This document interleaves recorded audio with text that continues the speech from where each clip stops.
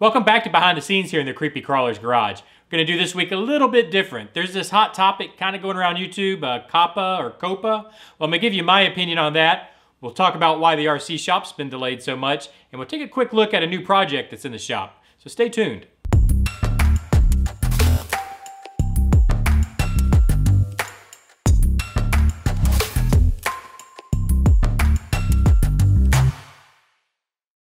So let's start by first just talking about what is COPA or COPPA or however you say it.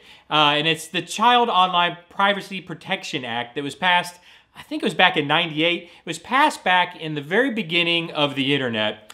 Uh, when the, the internet was nice and new and the FTC or the Federal Trade Commission wanted to protect children from having their data collected or information collected on children uh, via websites, okay, or, or uh, the internet in general.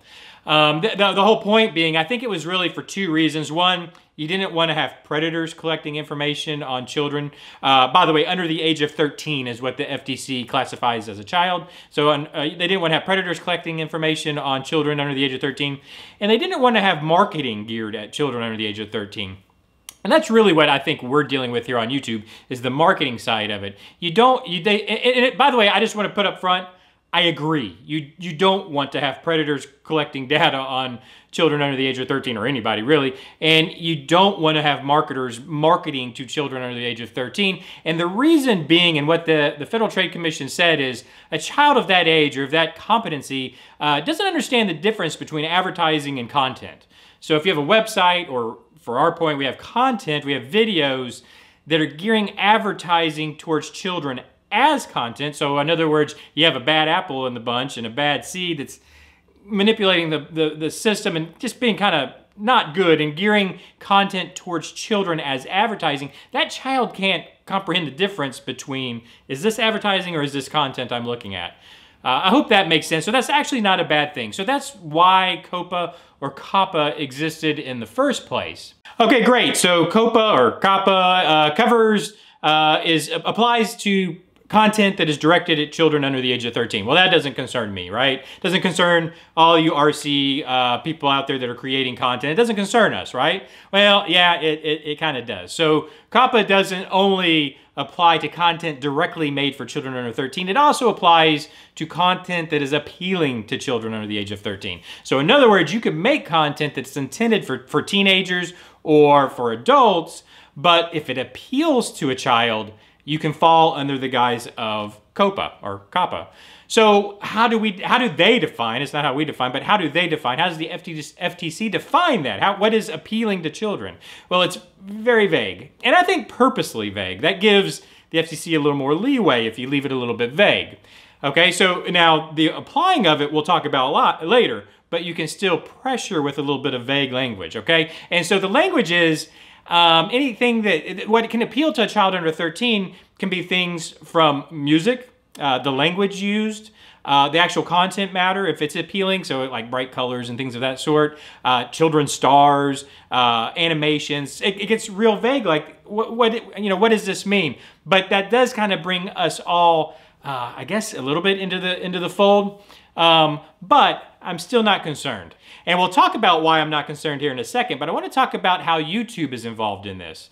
Um, so we all know that there are YouTube channels that are directly geared at children under the age of 13. There's uh, kids toy review channels. There's there's all kinds of channels that are geared at those children, and we all absolutely know that YouTube has gathered information on them. That that is hap that's happening, and so that's why the FTC uh, said YouTube you can't do that, and YouTube struck a settlement with the FTC in the order of 170 mil, 170 something million dollars and some actions they had to take here on the channel, which this is what we've all heard about. If if you are if you are deemed to have a channel that is geared at children under 13 or appealing to children under the age of 13, uh, they're turning everything off. Uh, they're turning your comments off. They're turning your notifications off. They're turning, uh, I think, your likes and dislikes off. I, they're turning everything off. Uh, basically, they're shutting down your channel. Now, you can still upload, but you're never going to get seen again. So YouTube is required to do these things by the FTC according to their settlement that they came up with. And trust me, or my feeling is, let's be, uh, is that YouTube doesn't want to do this. Uh, it makes no sense to YouTube to want to do this. I've been hearing a lot of people talk about, oh, YouTube just wants more power. YouTube, uh, YouTube don't want to do this. This is going to shut down some the largest grossing market on YouTube is children toy reviews and children's uh, content. YouTube does not want to do this. This is being required by the FTC. And quite honestly, they got off kind of light with 170 million dollar settlement. If you think about, and that brings me to what the fines are that the FTC. So each each uh, uh, offense can cost can be fined. The FTC can fine, or a court could fine you up to forty, uh, a little over forty-two thousand dollars. So if you talk about all the offenses that could be levied against on YouTube, you're talking about billions and billions of dollars. So 170 million dollars, that's really just a slap on the wrist. But the big part is they have to change the way they do things, which is what we're talking about with shutting off all comments and all that stuff for the for the children's channel. So, like I said, the FTC can fine offenses for up to $42,000. And that's what I've been hearing a lot of the gripes and hubbub about why people are shutting down their channels is because like, I'm out. I'm not getting fined $42,000 or whatever it is. Um, but for putting content on YouTube, I don't, I don't have a lawyer. I, I make $50 a month. This, I'm just shutting my channel down. Um, and so this is what I wanted to talk about next is, yeah, the FTC has, and this is, by the way, again, this is my opinion. This is how I see it. Um, the FTC has wording that says you can't do this, but that wording don't ha doesn't have much bite, and it really, in my opinion, does not apply to us, the content creator. And here's why. So COPPA, like we talked about, is about the collection of data from children. Um, us as content uh, creators, we don't do that. We don't have the option. YouTube does not give us the option to say, check mark, yes, I would like to collect data on children, or check mark, I would like to collect data on everybody. There is no option. We don't have the option to collect, not to collect. We don't have the option to do any of that thing. So how, what so let me back up too. So when the FTC wants, the FTC doesn't just give you a fine and then you have to pay it. No, the FTC takes you to court and then a judge has to find you guilty, and then a judge, a judge uh, determines the fine that you have to pay. And by the way, I think it's anywhere from $3,000 to $42,000. The $42,000 is the scare tactic, right? Um, but the judge has to fine you that, not just straight from the FTC.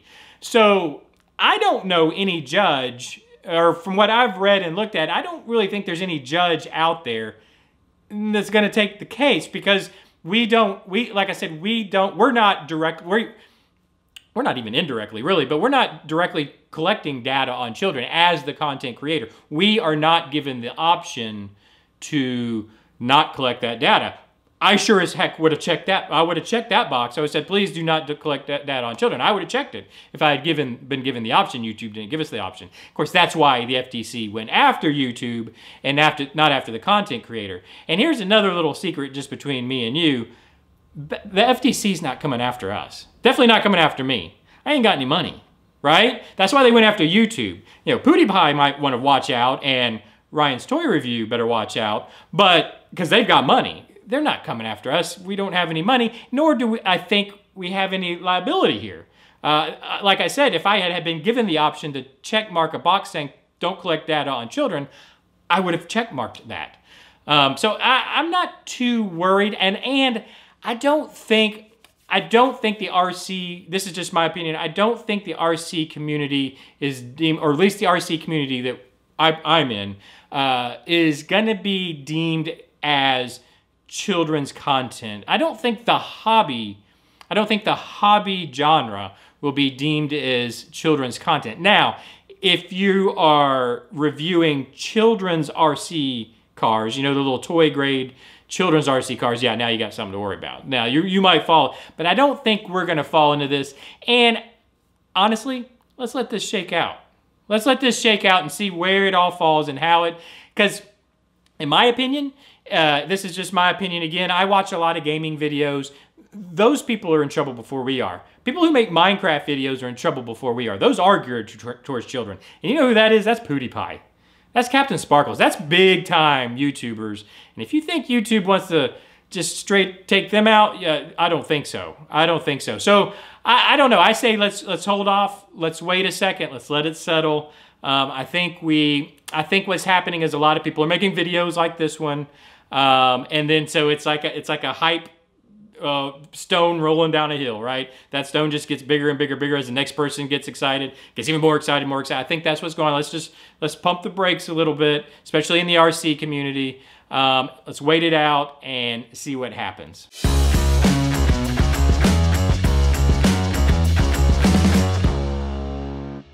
All right, with that said, let's get to what's really important. And that's this new project sitting behind me that I have in the shop here. Let me scoot to the side and I can show you. So basically what we have here is an AMC Gremlin body. Um, this is the fresh, the fresh cherries. Uh, it's basically a toy grade.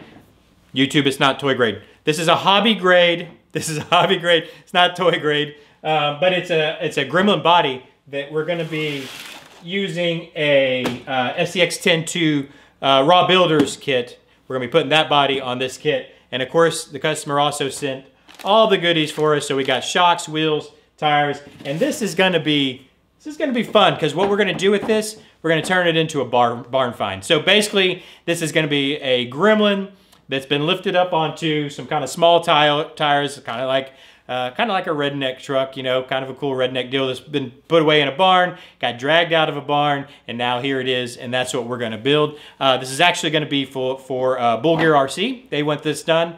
Um, he, I guess he liked what I did with Big, uh, with Ugly Bubba, so this is the next project he wants us to do for him. Um, so this project's actually going to be coming up. And I also wanted to talk about where's been the RC shop. Well, it hasn't gone away. I will say uh, I like I said earlier, pump the brakes a little bit with this COPPA thing just to kind of check it out and do some research. Uh, so it's kind of, I kind of stopped for a second, but I do have the next RC Shop episode uh, half edited, I would say. It's about halfway through editing. Um, so it's almost done. It'll be out in the next few days. Probably, I think I'm gonna put it out Monday. Um, it'll be done and ready for Monday. Um, but it also, I also slowed down because I had to actually uh, make some money to uh, support this. So I've uh, actually been working on my eBay store. That's how I make a little extra money to support the, the shop or this channel actually. Um, and so I, I've been working on my eBay store again. So I thought on the out, out on the outro of this video, I'd go ahead and show you a little commercial I made uh, for the eBay store. So I want to say thank you for joining me. Uh, pump the brakes on the COPPA thing, and I'll see you next time. Check out this ad for my eBay store. Later.